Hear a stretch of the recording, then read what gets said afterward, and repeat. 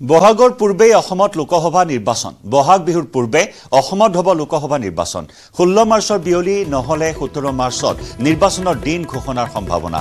কেন্দ্ৰীয় নিৰ্বাচন আয়োগে ঘোষণা কৰিব নিৰ্বাচনৰ সূচী উচ্চস্তৰীয় সূত্ৰই নিউজ এইটিনক সদৰি কৰিছে এই তথ্য। অসমত এটা পৰ্যায়তে লোকসভা নিৰ্বাচনৰ পূৰ্ণ সম্ভাৱনা। আঠ ন এপ্ৰিলত অসমত লোকসভা নিৰ্বাচনৰ সম্ভাৱনা।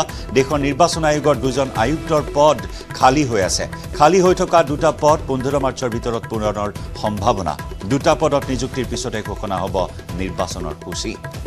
এই মুহূৰ্তৰ গুৰুত্বপূৰ্ণ খবৰ জনাইছো বহাগ বিহুৰ পূৰ্বেই অসমত লোকসভা নিৰ্বাচন অনুষ্ঠিত হ'ব। বহাগ বিহুৰ পূৰ্বে অসমত লোকসভা নিৰ্বাচনৰ দিন ঘোষণা কৰা হ'ব। ষোল্ল মাৰ্চৰ বিয়লি নহ'লে সোতৰ মাৰ্চত নিৰ্বাচনৰ দিন ঘোষণাৰ সম্ভাৱনা। কেন্দ্ৰীয় নিৰ্বাচন আয়োগে ঘোষণা কৰিব নিৰ্বাচনৰ সূচী।